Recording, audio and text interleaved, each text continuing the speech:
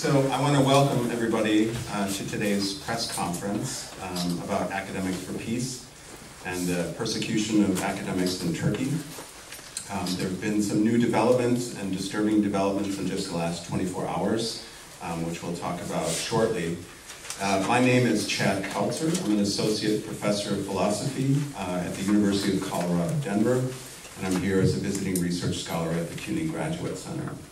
Um, we've pulled this press conference together with the help of a lot of people, and I want to uh, just do a general thank you to everyone who's helped, um, from Greta and Olga at the center here, um, to all the panelists for stepping up and speaking on such short notice. I'd like to thank the press for coming, and I'd like to thank you um, for coming as well. I want to remind you also that there are uh, empty chairs up in the front if you want to make your way up. Um, just be uh, conscientious of the, of the stands and the cords when you do so. Uh, we're going to try to keep this to one hour. Um, so our first speaker today um, is Eylem Delikanlı from the Research Institute on Turkey. Um, and I'm going to be shifting the microphone between the speakers, so we'll have a little pause while we do that. So I will turn it over to Eylem.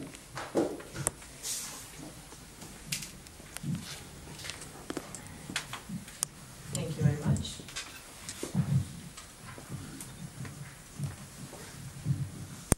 Um, academics for peace in Turkey have been targeted by the government and media for initiating a petition called We Won't Be a Party to This Crime. And this brief letter called for the right to live, liberty, security, and asking the government to end the curfews in the Kurdish region of Turkey. Um, by January 11th, it was signed by 1,128 academics in Turkey and supported by 356 international scholars.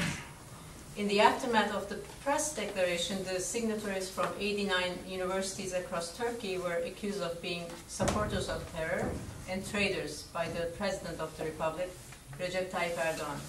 Many government authorities, the Council of Higher Education, Inter-University Council, and the presidencies of various universities. Um, as the Research Institute on Turkey, we, an interdisciplinary group of researchers, academics, artists, and activists, we are in full support of our colleagues in Turkey, and I would like to dedicate the rest of my time summarizing the course of events that took place after the initial declaration of the petition, uh, based on the recent um, report prepared by Academics for Peace Committee on January 23, 2016. In the days following the press declaration, a deliberate lynching campaign was kicked off. Threats, intimidations became commonplace, and many of our colleagues' safety was under threat. Um, university presidents who took President Erdogan's uh, accusations literally started administrative inquiry processes without any legal uh, justification. Extra-legal practices such as firing and preventive suspensions have come to violate the right to work of many fellow academics and researchers. This process clearly illustrates the dissolution of the freedom of expression and academic autonomy in Turkey. As of today, as um, Chad mentioned, another wave of house raids took place in Bolu, and investigations are filed for academics in Istanbul and Yıldız universities. Thus far, we have learned that the signatories will be brought to court um, under the famous Article 7 of the anti-terror law uh, for propagandizing in favor of the terrorist organization and or under the Articles 301 and 216 of the Turkish Penal Code for insulting Turkishness. This report is an attempt to compile the de facto and de jure uh, violations that signatories and researchers have experienced after January 11, 2016. It depicts that urgent necessities and demands in terms of life safety, work security, legal support, and other forms of collective support. In the majority of the universities where signatory academics and researchers are employed, the university administration, local media, and various hostile groups collectively execute a lynching campaign as motivated by the government and the national media. Um, while numerous university presidencies denounce the petition, signatories are being indignified, forced to resign, and inflicted with extrajudicial dismissals or conditional suspensions. Our colleagues are subjected to various allegations such as being traitors, terrorists, or so-called academics. They are facing death threats and investigations aiming at the most severe punishment possible, and un unemployment with no social benefits. These threats and attacks are not only inflicted by the high-rank officers of the state and government, but also by notorious criminals such as Sedat Peker, who publicly voiced um, death threats. A statement including the phrases, we will stream their blood and take a shower in it, could be viewed on the personal website of this person. On um, January 14, 2016, um, Association of Libertarian Legists, uh, and on January 18, 2016, Labor Union of Educators filed a criminal complaint against such a hate and hate speech and intrusions of Sedat Peker.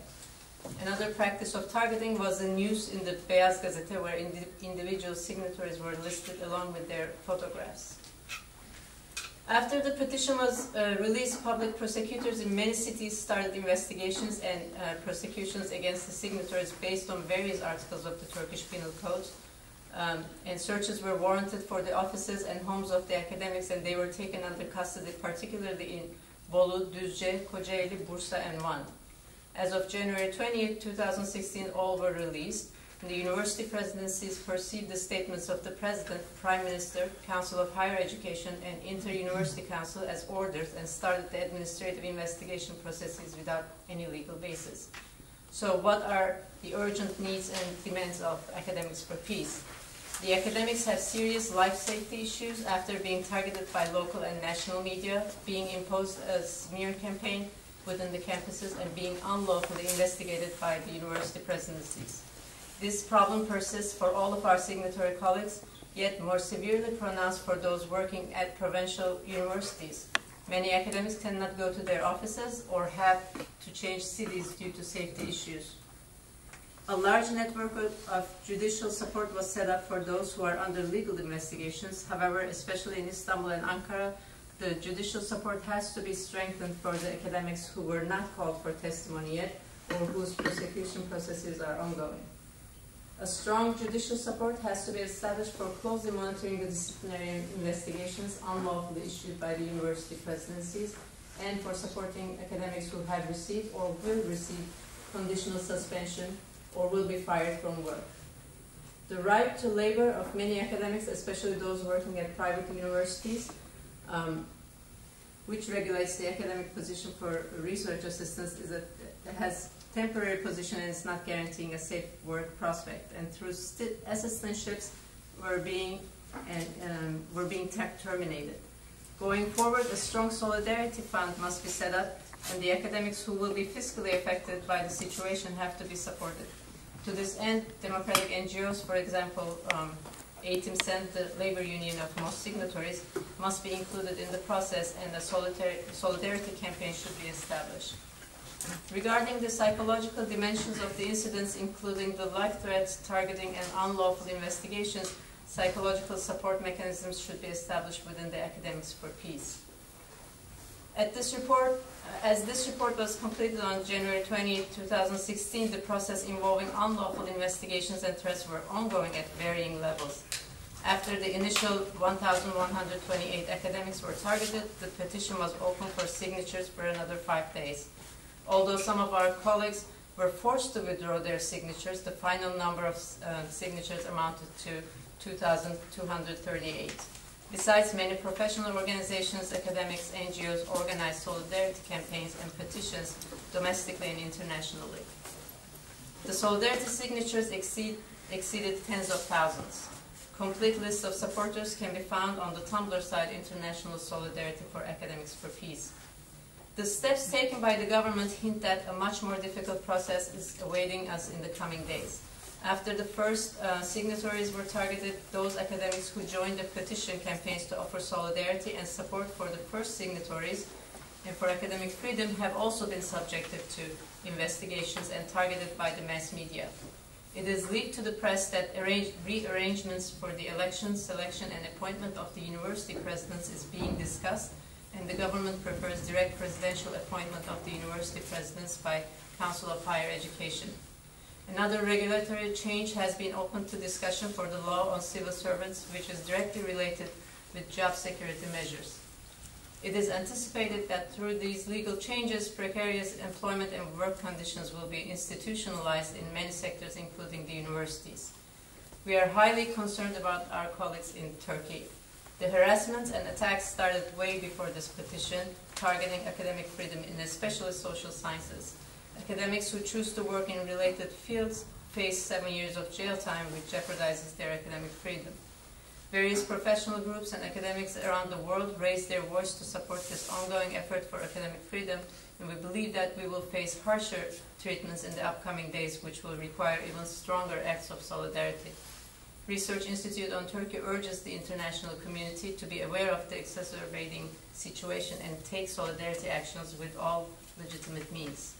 I will also shortly um, share a message from Scholars Rescue Fund. Um, Scholar Rescue Fund from Institute um, for International Studies have been wonderful and have successfully helped with two scholars at risk.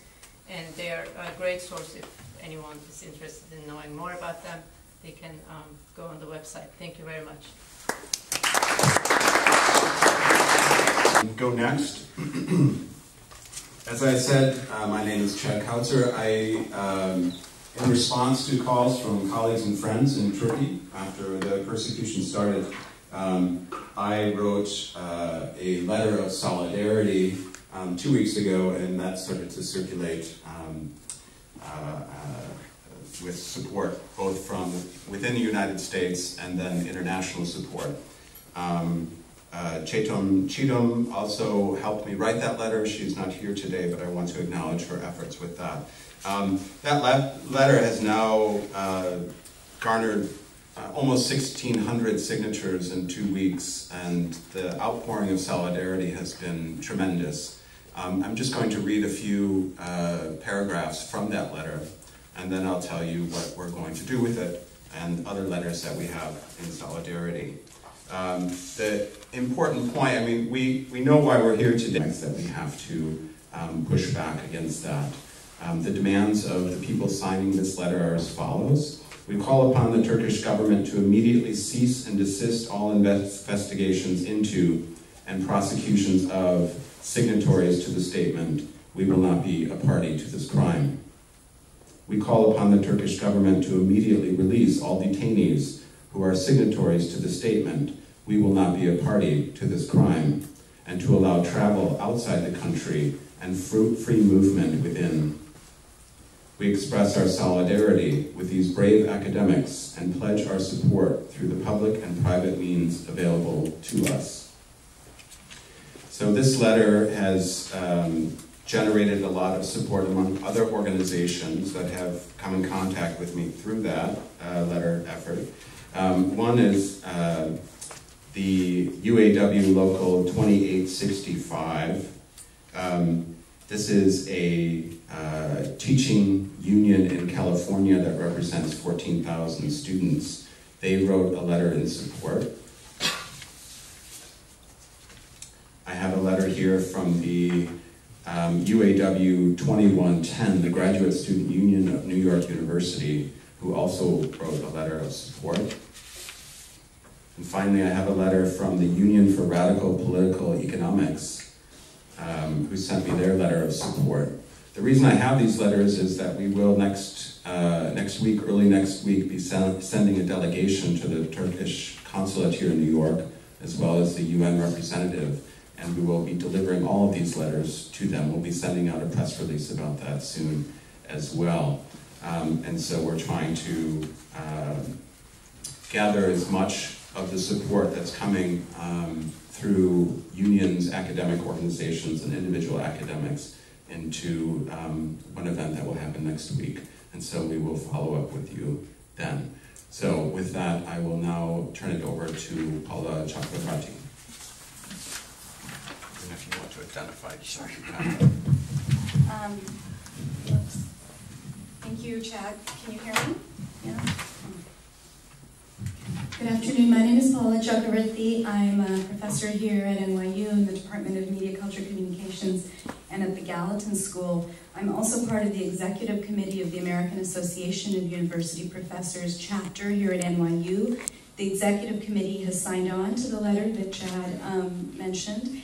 And um, speaking on, um, speaking as someone who is involved at the AAUP, um, as well as a faculty who teaches in media studies, Um, I think it's important to just reiterate the, the importance of solidarity um, efforts uh, for academics here um, in support of our colleagues in Istanbul, in Turkey, um, for all the reasons that have been pointed out by the speakers uh, beforehand.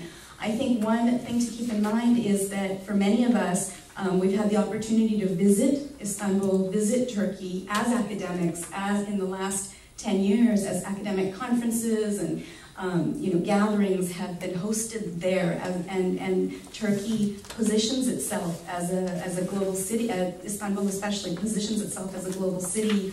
Um, we have colleagues, we have friends, we have students um, who are part um, of the group of um, faculty being targeted. Um, and uh, we're alarmed and, and you know, outraged at, at what, what is happening. Um, for those of us who are in touch with colleagues in Turkey right now, um, I have received emails um, telephone calls from faculty, especially junior faculty, who have signed um, the initial petition, who just express fear. Um, and uh, fear for expressing legitimate concerns and criticisms. Um, and one thing to keep in mind is that this is not an issue of the West holding Turkey, um, uh, you know, the way in, the, the way in that these issues are positioned in, in places like Turkey, in places like India, as you know, these are Western criticisms of the government. I think one thing we have to keep in mind is that there are governments all over the world um, certainly, uh, Turkey, India, Egypt, and elsewhere, uh, where academics who speak out are targeted, but this also happens in the US, and an association like the AAUP um, and others um, have stood up for the freedom of speech and freedom of research of faculty, and that's what we're here to do. So I'm keeping my um, comments short. Um, but uh, I think the numbers um, on this petition show the solidarity um, that is here in, in New York and in the US. Thank you. Thank you, Paula. Um, next, we have Kumar, who's the International Advocacy Director for Amnesty International USA.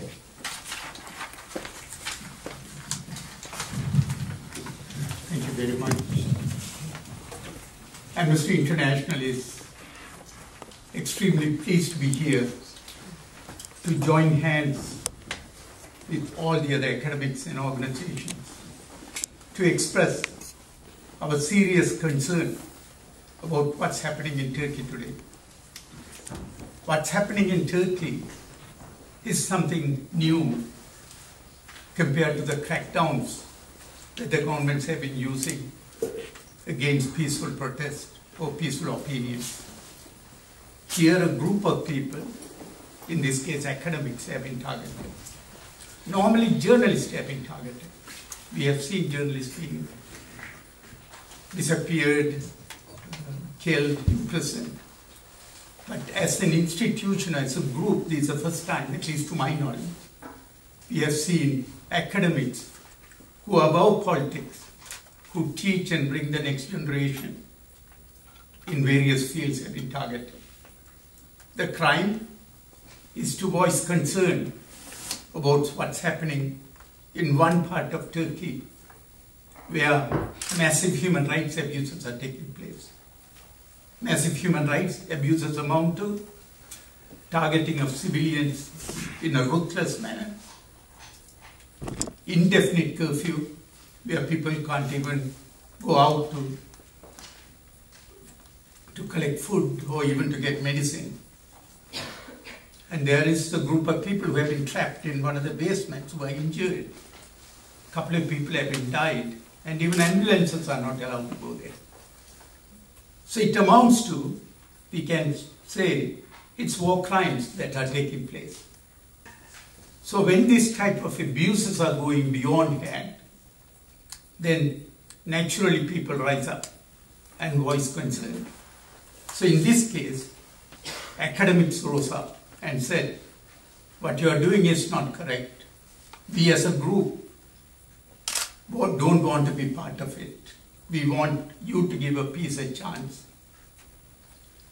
For calling that call in a peaceful and non-violent manner, the answer was extremely brutal. Brutal in a sense, they were called terrorists, which has become a very cheap word nowadays. their pictures, as it was mentioned, was being put all over the place and trashed. They should know that this is not an insult to you, it's a badge of honor. You should realize that. These crackdowns we have seen in other countries for other group of people. So that's why we take this very seriously that academics have been targeted this time. And we are pleased that this press conference is being organized in an academic environment and setting. We hope others around this country and the world also follow suit and translate it into an action where any government, in this case Turkey, should think twice before they touch an academic because of their peaceful opinion of raising concerns. Journalists have rise up. So this is a new team, we are seeing it, which is in a way, when abuses go beyond hand, you find new groups of people rising up. In this case, we have seen another first, I mean, I, as I mentioned, academics as a group have been targeted, is to bring mafia bosses and crime bosses to the scene in abusing and threatening. Mafia bosses and crime bosses should be in prison, not in the street, intimidating academics. They have no business in academic environment.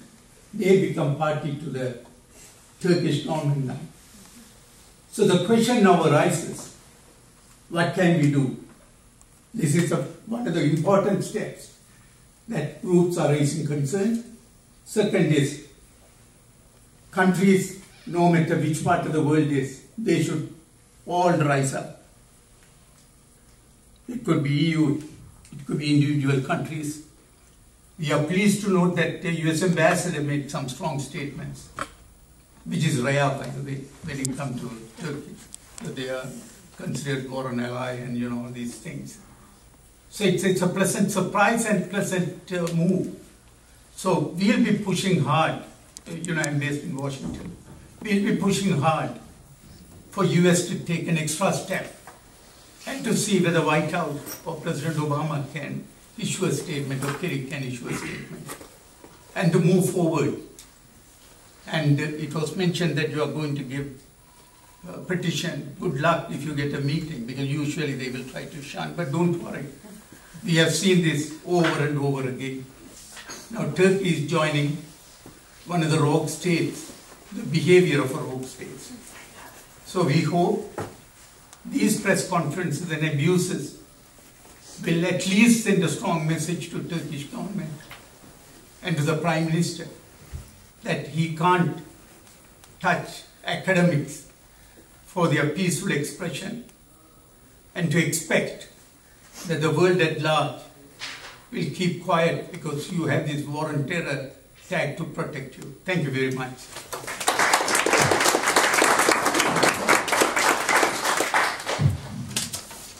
Um, Next, we have Marianne Hirsch. Maria, would you introduce yourself? Hi, my name is Marianne Hirsch, and I'm, I teach um, English and Comparative Literature and Gender Studies at Columbia University. I think it's important to note that the petition that was signed by over 2,000 people, we will not be a party to this crime, um, merely asked the government to observe national and international law and to initiate a peace process with the populations of uh, Southeast Anatolia in this um, Kurdish-dominated region um, that um, they have been targeting uh, with major acts of persecution. Almost immediately, the signatories of this petition were targeted by the Turkish government and they were accused, as we've been hearing, of terrorist propaganda investigated by their universities and otherwise uh, harassed. Um, the international outcry against these state and university actions um, by state and university, against these state and university actions against academics in Turkey the multiple petitions that have been signed by tens of thousands of academics around the world and that have spawned numerous solidarity actions such as this one. Today, attest to the gravity of these acts of persecution against academics were merely asking um, the government to observe national and inter- international law. I've attended conferences in Turkey. I've collaborated very closely with colleagues in Turkey, with students on several occasions in the work that I've been doing at the Center for the Study of Social Difference at Columbia. We have a transnational working group where we've been working on the aftermath of violence uh, in Chile, Turkey, and other parts of the world. And we've met on a number of occasions as a working group in um, Istanbul, in New York, and in Santiago. Our last working group meeting was in September in New York, and it was interrupted by the acts of violence that were committed by the, the Turkish state against the Kurdish populations in southeastern Anatolia. And uh, instead of um, giving our papers to each other, having discussions, and um, a public roundtable, we organized a demonstration at Columbia against some of these acts. And I think that it's, um, this is one of the reasons that I'm here. I'm, I'm here to express my shock and dismay uh, at these multiple attacks on academic freedom and freedom of expression that are the cornerstone of a liberal education. Signing a petition is a basic right of free speech, and it needs to be protected by our universities and by our governments. And so must the freedom to demand peace at times of conflict. An organization of approximately 3,000 members um, to express our, the concern of the organization for the unprecedented attacks on Turkish academics. Our Committee on Academic Freedom, um, some members of whom are in the room today, um, has been monitoring the situation in Turkey very closely and is deeply troubled by a pattern of intimidation of um, academic critics of the government by public prosecutors and the Higher Education Council. Um, we've written, uh, the committee's written a series of letters um, uh, over the past couple of months. Our most recent letter takes up the case of Professor um, Koray uh, a political scientist um, teaching at Boğaziçi, who was a student, uh, a graduate of NYU, where we're sitting today. Um, so this is not just a story, this is a story about, um, not just a story about people over there, it's a story about uh, our, our, own as well. I mean, people who are here, people around the world. Um, Professor uh, is under investigation for allegedly insulting Turkish President um, Erdogan on Twitter. And for this, he is, um, the prosecution is seeking a sentence of eight years uh, and two months, um, which is quite extreme. Um, Professor Khan's case is representative of a broad and troubling record of increasing restrictions of free speech and academic freedom um, for individuals and groups, uh, deemed critical of the Turkish government policies and presidential actions, and we've, we've heard about that today. Um, we urge the Turkish government to take all necessary measures to ensure freedoms are protected and uh, proceedings against academics, um, in particular, uh, or, or, including the signers of the peace petition, be dropped.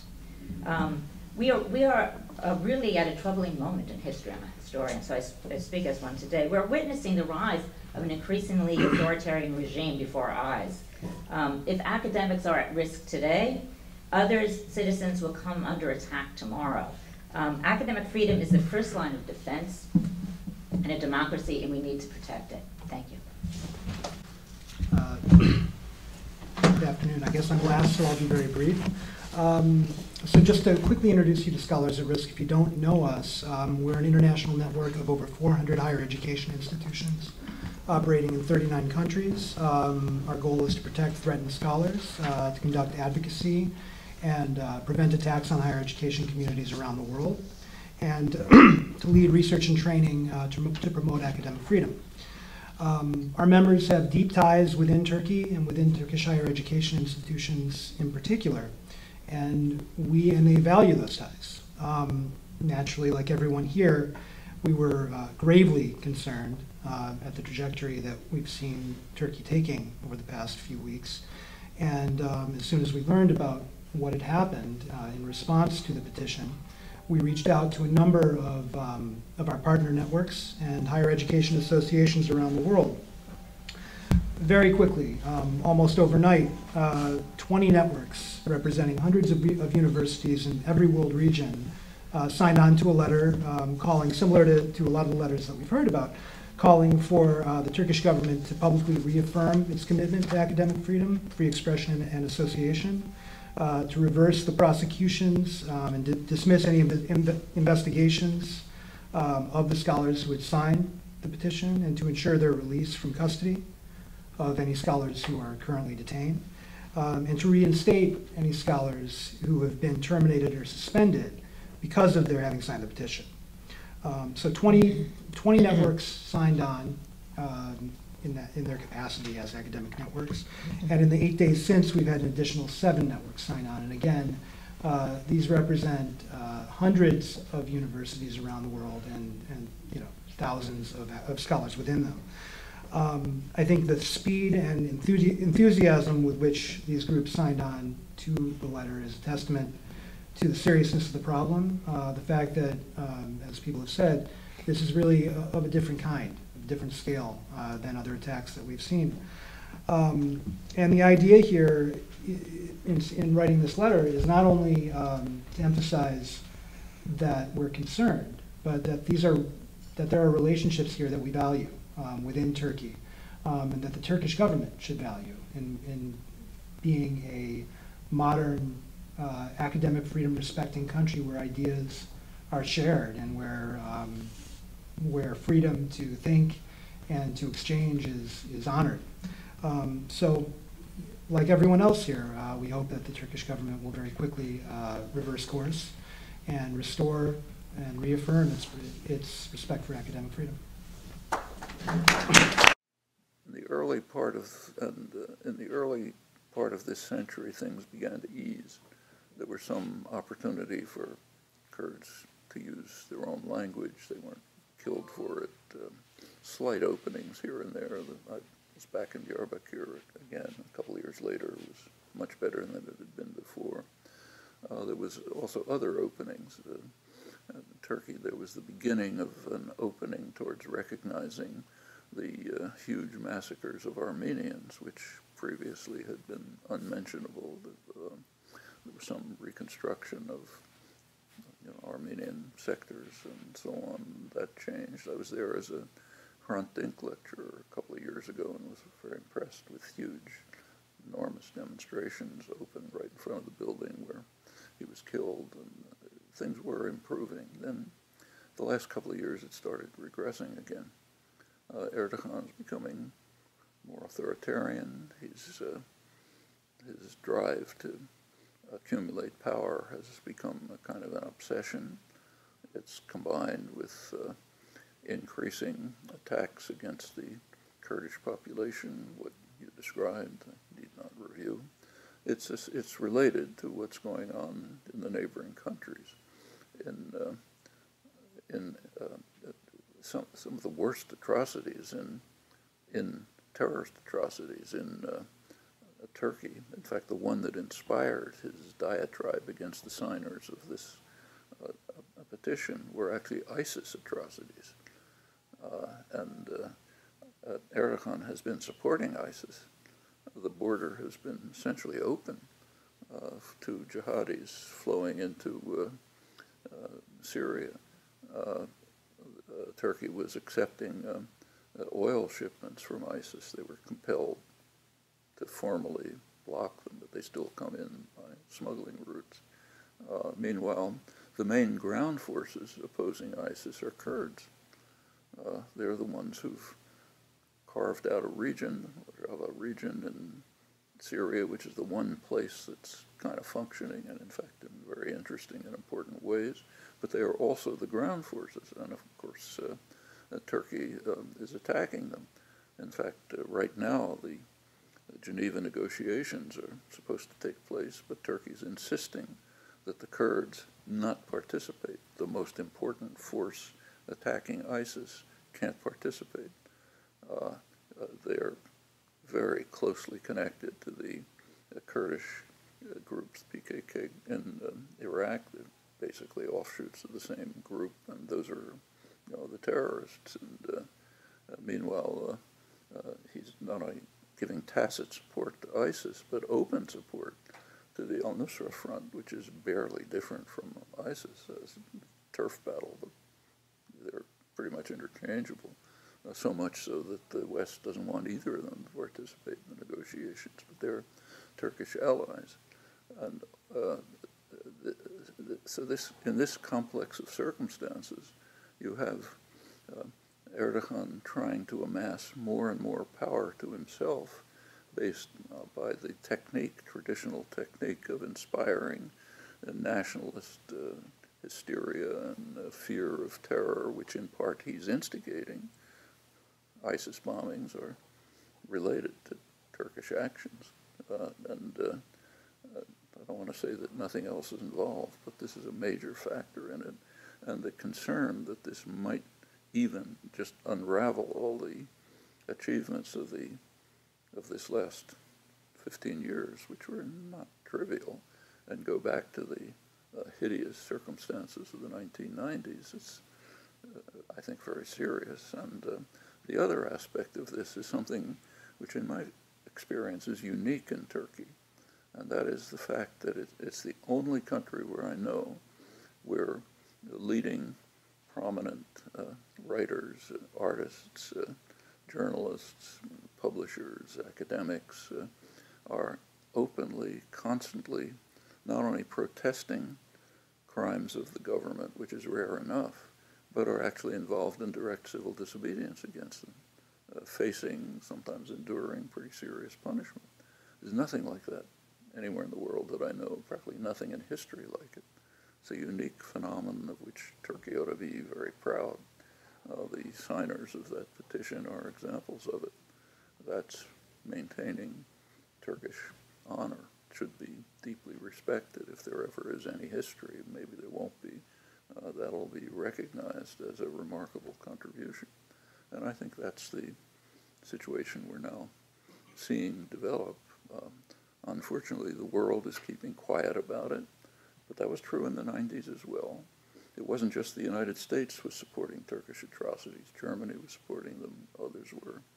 Uh, I remember some really ironic situations, like in 1999, uh, there was an anniversary of NATO, big meeting of uh, so, uh, commemorating the anniversary of the founding of NATO, and they were all uh, uh, lamenting the fact that right near NATO's borders, there are terrible crimes being committed in the former Yugoslavia.